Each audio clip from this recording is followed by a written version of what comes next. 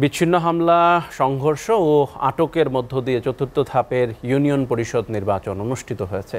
দেশের বিভিন্ন জেলায় ভোট ছিনতাই ও নির্বাচন বর্জনের খবর পাওয়া গেছে। রাজশাহীতে চারঘাট, বাঘা ও দুর্গাপুরের পনেরোটি ইউনিয়ন পরিষদ নির্বাচনে ভোট হয়েছে। বেলা এগারোটার দিকে চারঘাটের হলিডাগাছি দ্বিমুখী উচ্চ বিদ্যালয় কেন্দ্রে দুর্বৃত্তদের অস্ত্রের হামলায় দুইজন জখম হয়েছে। দুর্গাপুরের দেলুয়াবাড়ি ইউনিয়নে বেড়া সরকারি প্রাথমিক বিদ্যালয় কেন্দ্রে দুই গ্রুপের সংঘর্ষে সাতজন আহত হয়েছে। ব্রাহ্মণবাড়িয়ার আখাউড়া ও বিজয়নগরের নির্বাচনে অবৈধ টাকা লেনদেনের অভিযোগে এক পোলিং এজেন্টকে তিন ও অন্যজনকে ছয় মাসের কারাদণ্ড দিয়েছে ভ্রাম্যমাণ আদালত। এছাড়া একজন সহকারী প্রিজাইডিং কর্মকর্তাকে বরখাস্ত করা হয়েছে।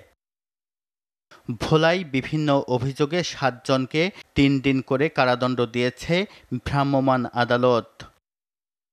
জাল ভোট দেওয়ার অভিযোগে কিশোরগঞ্জের হোসেনপুর উপজেলার পুমদি ইউনিয়নের ভোট কেন্দ্র থেকে ছয় কিশোরকে আটক করা হয়।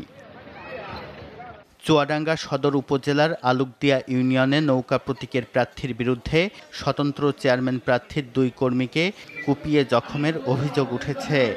জোড়াঘাটা সরকারি প্রাথমিক বিদ্যালয়ের সামনে এ ঘটনা ঘটে। আহতদের উদ্ধার করে চুয়াডাঙ্গা সদর হাসপাতালে ভর্তি করা হয়েছে। হৃদরোগে আক্রান্ত হয়ে চট্টগ্রামের কর্ণফুলী উপজেলার শিকলবাহা ইউনিয়নের আট নম্বর ওয়ার্ডের মেম্বার প্রার্থী মনির উদ্দিন তালুকদার মারা গেছেন।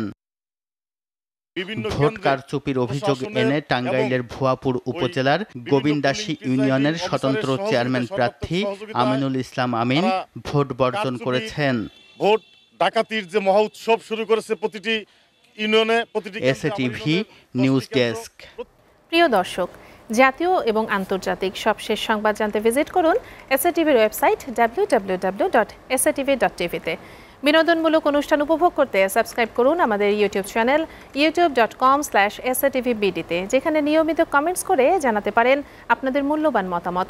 এছাড়াও এস এসএটিভির বাছাইকৃত সংবাদ দেখতে YouTube dot com slash SATV নিউজে সাবস্ক্রাইব করে বেল আইকনটিতে ক্লিক করে সাথেই থাকুন। প্রতি মুহূর্তে সর্বশেষ তথ্য ও বিনোদন পেতে লাইক দিয়ে যুক্ত থাকুন আমাদের Facebook page Facebook dot com slash SATV বিডিতে SATV সাথে আছি সবসময়।